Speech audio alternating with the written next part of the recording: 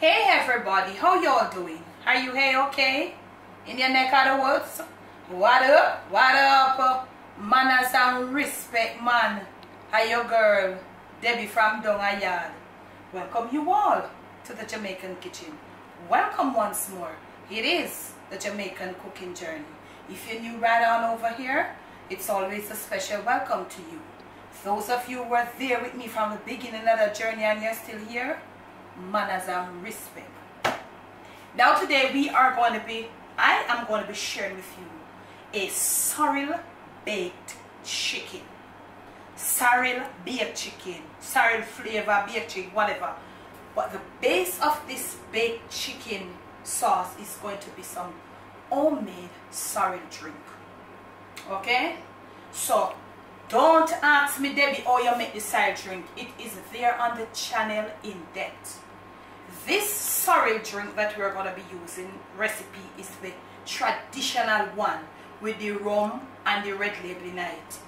If it is that you do not want that one family, use what you want. There are a few people and the number is growing, you are all putting on the wrong label on me. I'm telling you, there are few of you. You are, I don't know if you know yourselves, but you are putting on the wrong label on me. Okay? But I am watching it and then I will do a live streaming on it if it is growing. You're labeling me with the wrong label. Now family, we are going to sweeten this sorrel drink it's, it has been done you know homemade. So we are going to um, get it all sweetened. So okay remember i told you we were and this is not one of the ready ones you know but this is what we could get right now at this time. We are going to be using the traditional form of jamaican sorrel drink. That is the rest that is so the very first thing i'm doing i am showing you how to get the sorrel baked sauce prepared. Because when I want about it. And it is only um, for me it is only necessary or all necessary for me to show you that sauce okay? Family try to remember that it's not every sauce that I do I can show you. You can make your own sauce okay? We have our chicken here. The chicken over there so wash and it are drain clean and pretty bone in bone out any part of the chicken People are asking, Miss Debbie, what kind, what parts of the chicken can I use? Any part of the chicken. If it is that I do a dish and it's, it's asked for boneless, I'll say boneless. Okay? Now, we are going to be putting in some sugar. And I'm going to be putting, that is, I'll tell you, I think I have four and a half pounds of chicken here, about 2.2 kilograms. So, this is this probably will be good enough will be good enough. So i'll leave for you in the description all that i use if it is that you're using four and a half pound of chicken like me if you are use 10 pound of chicken you gotta double up on this okay? Simple thing family. All right. Well, i'll put some rum don't worry about the um the what you call it, the volume of the alcohol. It is strong in there now but remember I always say to you the heat from the oven will diminish it down to nothing. By the time I bake out my oven in and do nothing I have to put in some of this thing you know. you know we have to sort out the sorrel we have to get the sorrel so you know this sorrel was prepared with all you know that cinnamon leaf the orange peel the, the, the, the, the pimentos berries and all of that now to this Normally, I would use a little vinegar in my baked chicken sauce. I don't want to put vinegar with the sorrel, but the orange juice, which is a little citrus, it is okay. So I am going to be juicing. I'm going to be using fresh orange juice. You can use store-bought family. I am looking for the very best flavor and I know that the freshly squeezed orange juice with the sorrel with the fresh homemade sorrel will give me a better flavor okay? So if it is that you want to use store-bought go ahead and use your store-bought now this is what we have. You are going to need some of this and if you don't need this or you do not want to use this use what you have. I'll be using a generous amount of ketchup to thicken this okay? So here we go.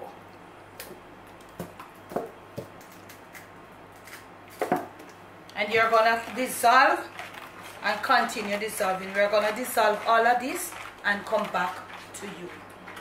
Okay now so we had a generous amount of ketchup in this family. What I want I'll tell you how much to how much. Sorry. So look at it. But still we are gonna leave it to come to a little boil to get. But you'll see.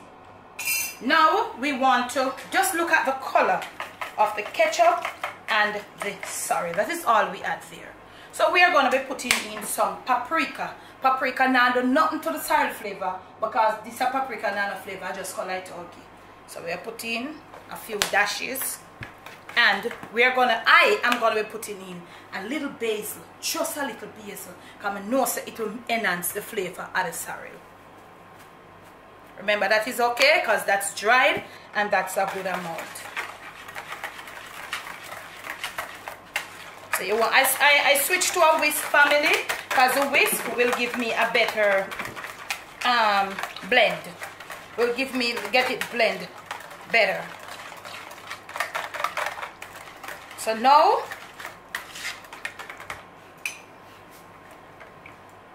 this is still not the consistency that we wanted. So we are going to taste now. Yes. Yes we can probably take a little salt. Just a little bit not a lot. So we're going now with a little bit of salt.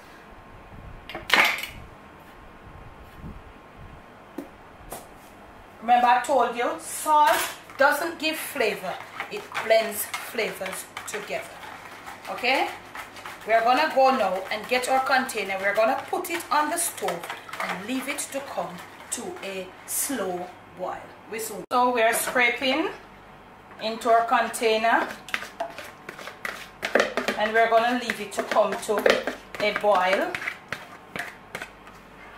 You don't want it to get burned because with the sugar and the red label in there it will get burned. We can bring it up to a little more. So we are gonna leave it there this is how it is now and you will need some additional sweetened sorrel in case it's it gets too thick and you want to thin it out a little more okay? We soon come. When it starts boiling we'll return. Now family look at this. It starts it's it start it starts started to come to a boil.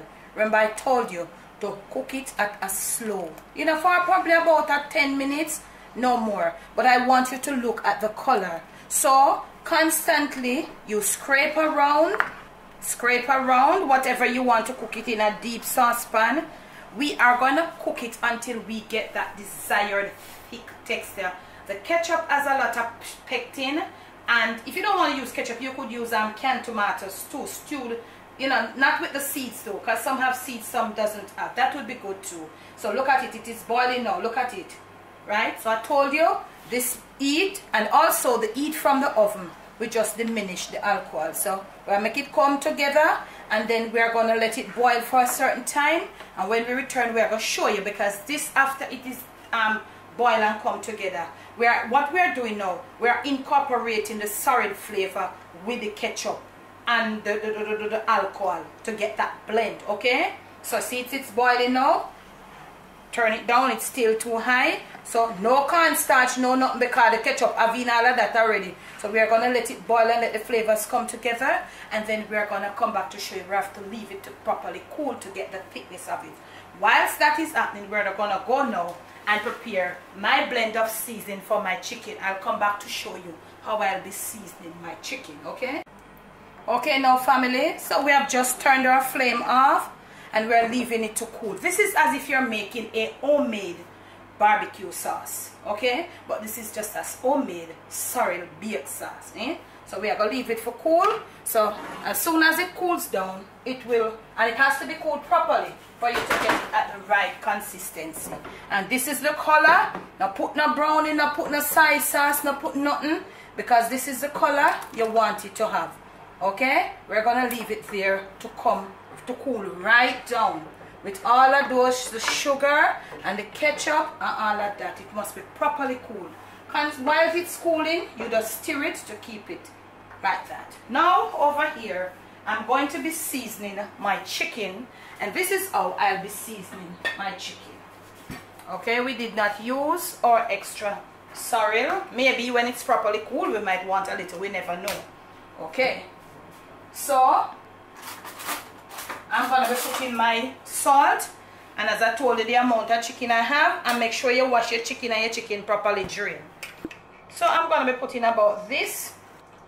Yes, four and a half pounds of chicken and I put a tablespoon of salt. That should be good. Right?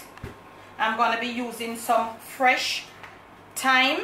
Mm, so what me I to do? I just to pull off all of my thyme leaf them because I don't really want like the, the, um, the stalks and all of that. Pull off all of my thyme leaf.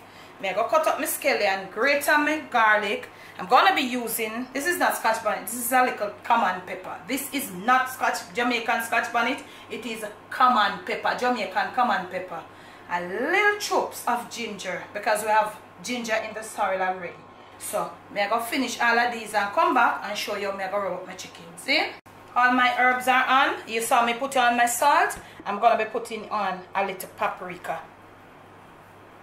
Probably about half of a teaspoon of paprika. And this is what I'm gonna use to season my chicken. You can season your chicken the way you want a family but try to remember that if you go too much with certain of those um, artificial seasonings you're gonna lose the taste of the, that sorrel um, thing that we're making over there that's baked that sauce okay?